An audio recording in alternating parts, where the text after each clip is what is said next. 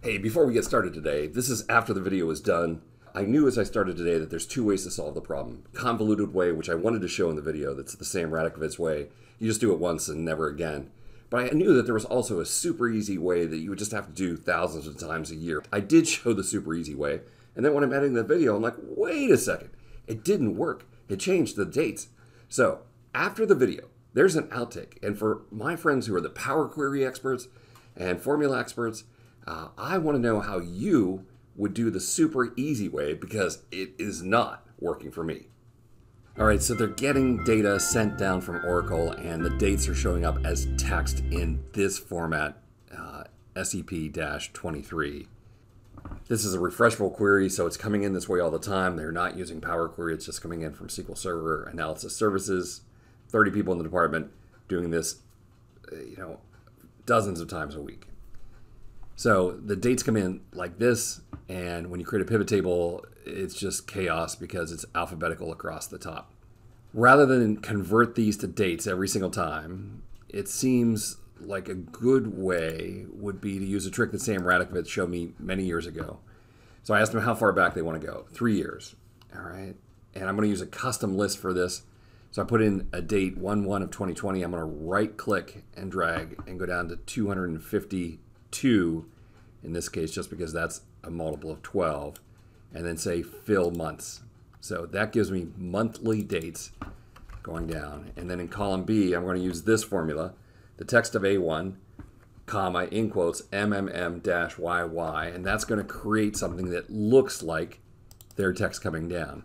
Now the problem is with custom lists you cannot use a formula in a custom list so we have to copy that. And then here uh, we'll paste as values. You can do that however you'd like. I'm going to do that one right there. All right, so now I've selected these 252 cells.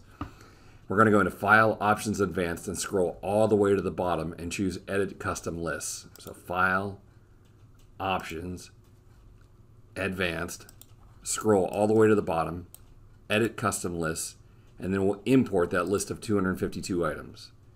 The list can only be 254 or less, so this goes out all the way to 2040, which is, you know, the rest of my work life for sure.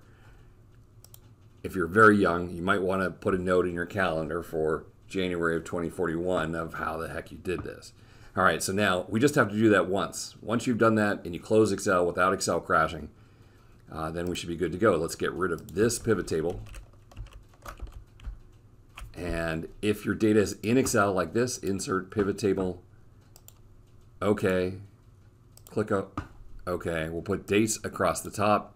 Ah, oh, there we are, it's already working. And sales down the side. All right, that's great if your data is coming from inside of Excel. But they mentioned that this is a refreshable query coming in from analysis services. So that tells me that their data is not coming from inside of Excel. And that's going to require a few extra steps. So essentially, insert pivot table. I'm going to choose this box, add this data to the data model. Dates across the top, products down the side, sales.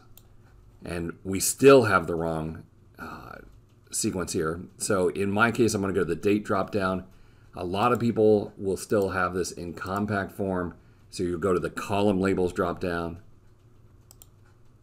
We're going to go into more sort options, choose ascending based on date, go to more options, uncheck automatically sort, and then the first key sort order, we're going to choose that custom list that we just created. Click OK. I hate those eight clicks, but it does solve the problem. All right, well, hey, I want to thank you for stopping by. We'll see you next time for another netcast from Mr. Excel. If you like these videos, please down below like, subscribe, and ring the bell. Feel free to post any questions or comments down in the comments below.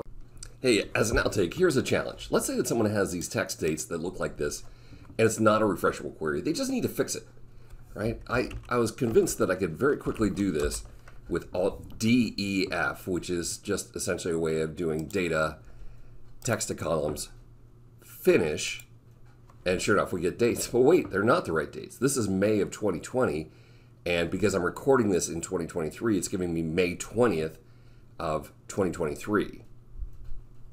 So then I thought, what we really have to do is text to columns, go to the third step, and specify that it's a date in month, day, year, I guess.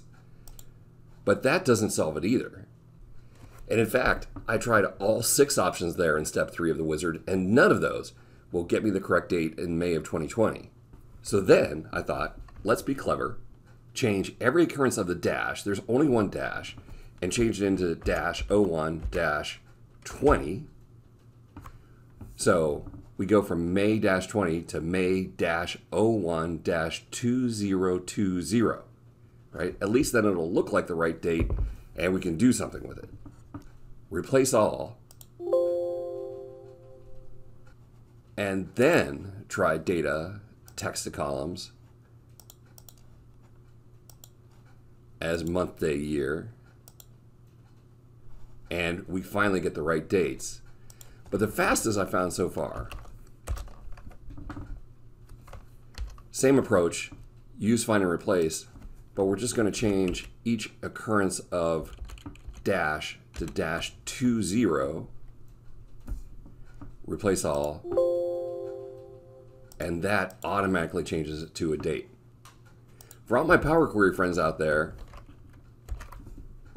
I figured there'd be a beautiful way that I could use Power Query. See, it comes in as the wrong date, so I have to uncheck change type. And then on add column, column from examples. But I'll tell you what, download the workbook. I cannot put anything in over here that will cause this to be correct.